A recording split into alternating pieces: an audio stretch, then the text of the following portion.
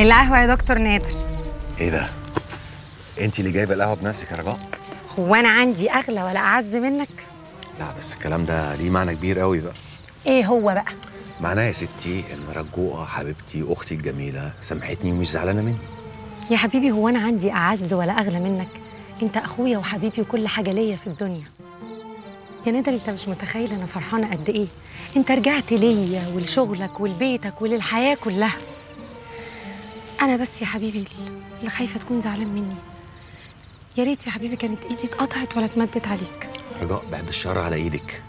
وعلى فكرة بقى القلم اللي أنا خدته ده كان مهم جدا بالنسبة لي. بس اياكي تستحليها لا. مساء الخير. سارة. أنت لو ما نطقتيش يا ولية أنت أنا هحبس المنطقة باللي فيها. وهقفلها لكم برضه لغاية ما أوصل لها. يا سعادة الباشا والله ما أعرف حاجة. وبعدين انت ماسك في قفانا بالتحديد ليه؟ ما المنطقة كلها قدامك إيه ولا عشان ست غلبانة ومن كسرة يعني. يا سعادة الباشا الاخت جمالات اخت فاضلة ولم نرى منها سوء. إيه حكايتها مع الشرطة. مالكش أنت دعوة يا عم الشيخ. بنت كوريا فين؟ غبينا جت اهي اهي بنت يا كوريا. واد يا سوكة اخس عليك يا ولا بقى تاخد كوريا يا واد وتسيب أمك. حقك. عليا يا أم حقك عليا. المره الجاية أخدك معايا أنت وقال الحارة وعلاء باشا كمان. إيه يا موزوكا مستكترة علينا نقعد مع النجم يوم واحد ولا إيه؟ ما كل يوم قاعد معاك وبيغني لي كل ليلة. آه يا مسوكة إيه؟ تعالي تعالي. أنا باشا؟ بنت هايدي فين؟ هايتي؟ هايتي ده يا باشا ده نوع لبان ده ولا إيه؟ انت هتستهبلي يا بت. جمالات فين؟ آه جمالات. والنبي ما اعرف يا باشا. بكلمها من الساعة 8 كده وهي ما بتردش. ده أنا حتى فكرتها خرجت معاك. ما هي ما كانتش بتتكلم مع حد إلا سيادتك. لو ما كانتش معاك يعني تبقى فوق. مفيش حد فوق غير الست المجنونة اللي عمالة تصوت دي. سدس سبتيها لوحديها؟ قلت لك ما تسيبهاش لوحديها. ممكن تحط ايديها في الغسالة وتتكهرب يو يو وأنا اعمل إيه برضه يا خال؟ ما أنا برضك لازم اخرج افك عن نفسي شوية. وأنا يعني إيه؟ كنت ولية أبراء. بت انت أنا هوديكي في 60 داهية. انت كنت متسترة على واحدة هربانة. نهار أسود هربانة. والنبي ما اعرف يا باشا آه، أنا كل اللي أعرفه إنها بنت محترمة وبنت ناس. هي يكش بس يعني متخانقة مع جوزها شوية. عشان كده إحنا مكمرينها عندنا لحد ما يصطلحوا ولو كنت يعني قايلة في الحارة إنها قريبتي ده عشان ما حدش يضايقها يعني وكده أنت عارف. يبقى تيجي معايا الحبس بقى لغاية ما تفتكري هي فين وتجيبها لي من تحت الأرض. طب صلي على النبي يا باشا. صلي على النبي بس كده اسمع هقول لك هقول لك. بص بقى يا باشا لو أنت شايف إن أنا متسترة عليها يبقى إحنا الاتنين بقى كنا متسترين مع بعض. ليه بقى؟ أظن الحاره كلها شاهدة. ده أنت كنت خارج داخل من عنديها ولا مؤاخذه في بينكم سر؟ هي كانت بتتكلم مع حد اللي معاك؟ لا ده أنت تيجي معايا الحبس من دلوقتي. صلى على النبي يا باشا صلى على النبي. كوريا ما تقصدش يعني بتفضفض بكلمتين امال في إيه؟ ما أنت بقى يا اللي مستهبل لي فيها وعامل لي فيها عبيط. كوريا لو ما جيتش من نفسك كده وقلت لي هي فين أنا هحبسكم كلكم. وبخليها بقى تنفعك. أنا مالي يا باشا. أنا السواق وخلاص. اتلم بقى اتلم على الطريق لا إله إلا الله. ولا يعلم ولا الغيب إلا يسوق. الله. ولا. هي البت جمالات نصابة وحرامية وسوابق.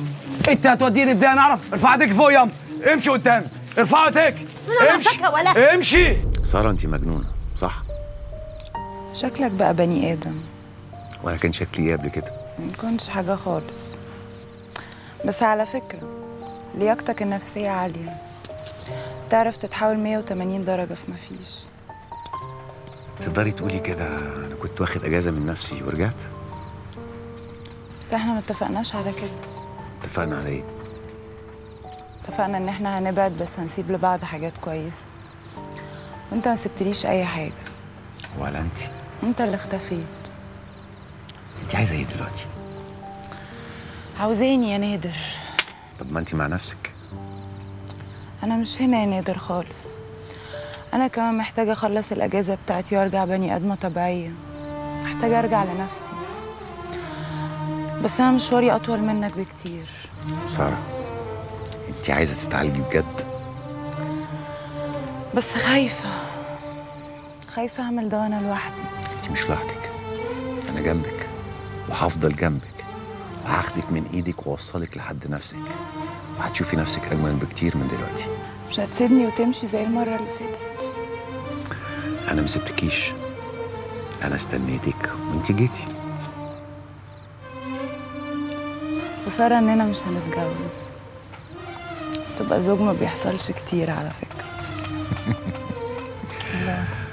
روحي جهزي شنطتك واتصلي بأهلك وشوفي هتقولي لهم أنت هتقعدي فين.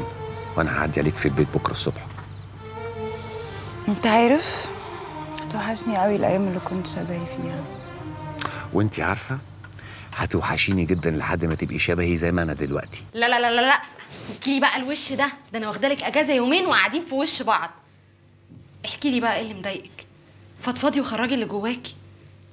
سرك في بير ما تقلقيش. احكي. علاء صعبان عليا. علاء مين؟ الظابط بهدلته معايا.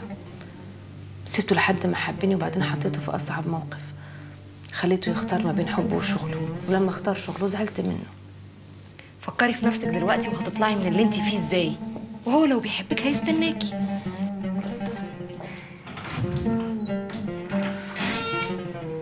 خدي. غيري هدومك كده وريحي نفسك. انت شكلك تعبان قوي. مكسوفة مني؟ أودي وشي الناحية التانية عشان تغيري؟ لا مش مكسوفة مستغربة.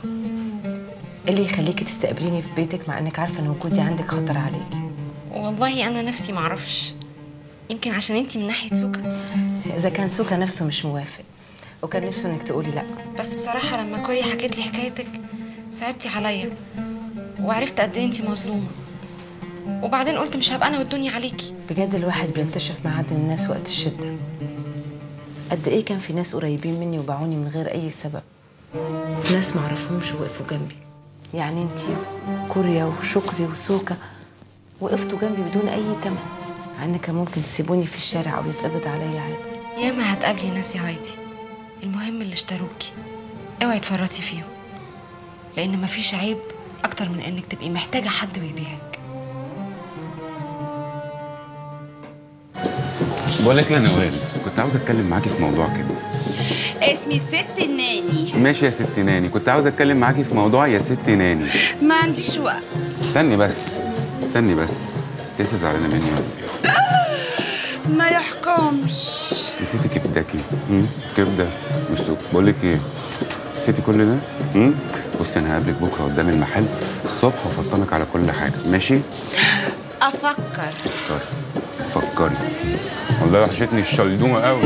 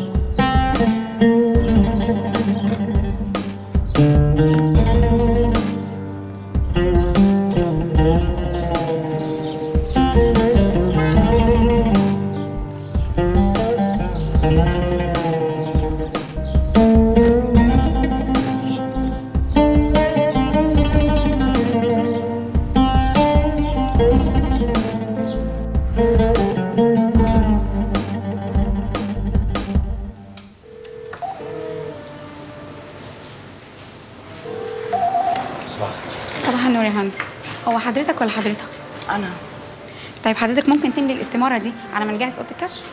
اتفضلي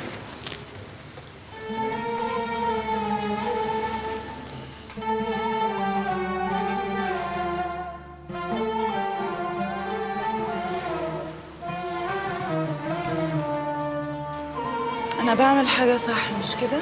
أكتر حاجة صح عملتيها في حياتك غير إنك عرفتيني طبعا عمر ما حد فضل معايا لحد الآخر يا نادر. في أي حاجة بعملها. هتفضل معايا لحد الآخر. سارة انت لسه عمرك طويل إن شاء الله.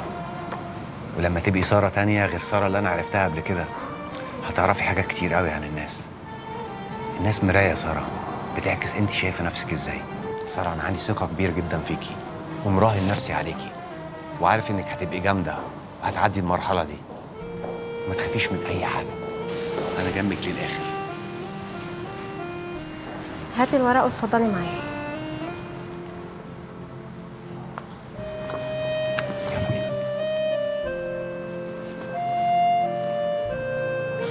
خلاص يا نادر خليك انت وأنا هكمل. خلي أسراري الطبية بتاعتي أنا. لحد ما يبقاش في أسرار خالص ساعتها أحكي لك كل حاجة يا نادر. طب خليني أجي أقف معاكي. لا امشي انت وروح شوف شغلك وحياتك. وأنا أول ما أعرف النظام هنا هكلمك أبلغك. ونشوف يحددوا لنا ميعاد تيجي تزورني فيه. سارة خلي بالك من نفسك.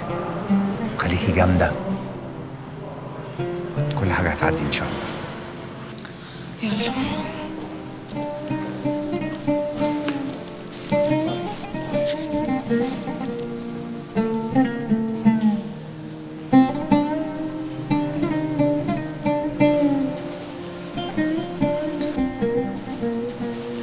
خلاص بقى نوال. كبداكي غلط وبيصلح. بقى عشان ما حبيتك. تقول لي هقول لجوزك على لوح السرير المكسور والحسنات اللي في جسمك والسيئات. ليه؟ واحدة جايبها من الشارع. يا بت بهزر. بهزر؟ يعني أنا هقول له أدي راسك ابوسها لو زعل اوعى كده. ما خلاص بقى نوال. ما أنت عارف إن كوريا كانت عاملة لي مشاكل بس أنا خلاص سبتها. ما فاضليش غير النونة وهب لنا بقى وبريالة وهصدقك. انت ديلك عمره ما يتعدل يا كبداكي. ده أنا حافظاك. انت بس مش لايدة عليك شغلانتك العرة في المحل والخدمة على الزباين وعايز تاخدني سكة. تصدقي عيب عليكي مش أنا نوال أنا راجل. مش أنا اللي أكبر من سكة حر. وكمان الموضوع اختلف. أنت ما بقيتيش متجوزة وأنا ما بقيتش خاطب. يعني إحنا لبعضينا. هو الموضوع فعلا يا أخويا اختلف. والرجالة بقت حواليا زي الرز كده ويتمنوا لي الرضا أرضى. طب وهيما؟ امم هيما. سجق. كبدة. الحمامة نوال. انت بقى عشان أرضى عليك تبين لي كرم رقبتي. طاعون واقف لي زي السلمة المكسورة في الطلعة والنزله فابعدوا عني عشان لا عايزه أجرب أذاة ولا ليا شوق أدوقه أذيتي؟ هو أنا المفروض أسيب فلوس هنا ولا بعمل إيه؟ الدكتور نادر أول ما حضرتك دخلتي دفع لنا مبلغ كبير من تحت الحساب. هو كمان طلع فوق وحجز لحضرتك الأوضة اللي على الجنينة عشان قال إن حضرتك بتحبي الخضرة قوي. وساب لنا رقم تليفونه عشان لو احتاجنا أي حاجة بتصل بيه. طيب ممكن حد يوريني أوضتي؟ يا نهارك أسود يا شكري امبارح بالليل. كل ده حصل وما تقوليش. إيه، فين في السيدة زينب؟ أنت إزاي تتصرف من غير ما تقول لي ده أنا هخرب بيتك. اسمع أنت جيني دلوقتي حالا ها؟ في يا عمي. هايدي يا سيدي. الواد الظابط اللي في الحتة دي حكيت له على كل القصة وبيطاردها يا نهار أسود هي بنتك اتجننت ولا إيه؟ قلبها يا سيدي. قلبها؟ هو قلبها ده متركب إيه؟ شمال؟ ما أنا مرمي قدامها أهو ما حبتنيش ليه؟ حبك أنت إيه وأنت؟ تحبك حتى في بورس وإيه اللي فيها يعني؟ ألو؟ هاي نادر. هايدي يا سيدي. حكت الحكاية كلها لواحد ظابط في الحارة. آه وهربت. فأنت لازم تيجي فورا عشان نقعد ونتكلم ونشوف هنتصرف إزاي في المصيبة دي. اعمل معروف. ف صباح الخير يا ابو طالب بيه. ولا تحب أقول لك حياك الله يا شيخ.